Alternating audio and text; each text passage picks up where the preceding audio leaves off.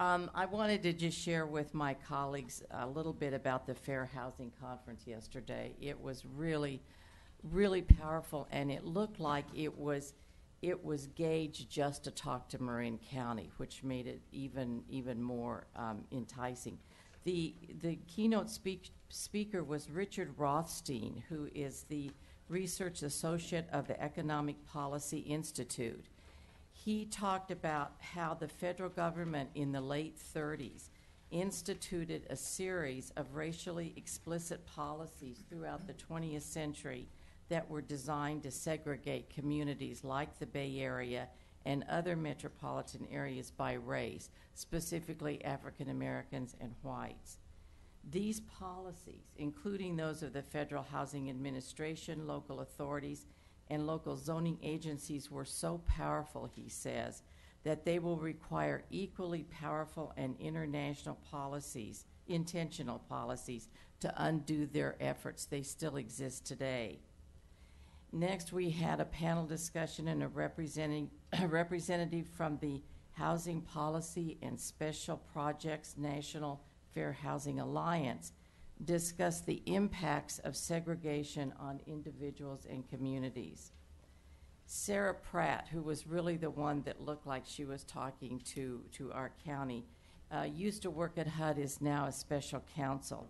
And she announced that HUD, just yesterday morning, announced that they are changing the policy of excluding individuals from public or Section 8 housing or affordable housing if they have any criminal record, no matter how old or how minor. So HUD is going to be looking at if you received a ticket or you were arrested when you were 18, they're going to take that into account when you go to apply for affordable housing, which right now they have to be automatically excluded. Mrs. Pratt then said, obli- uh, said that obligation was the in- replacement to the oh, the replacement to the analysis of of the analysis that we have been doing to fair housing, promoting fair housing, has now been replaced by the affirmatively furthering fair housing. And she knows about our analysis of impediments and our implementation plan.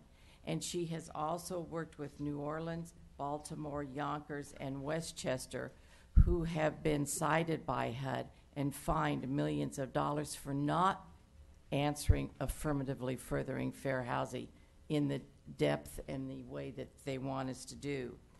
And she said that it's Marin, including its cities, has to provide data on areas of minority concentration and a plan to site affordable housing outside of these areas for individuals, and our data needs to show who needs this housing the most Fa- families, seniors, dis- dis- disabled communities.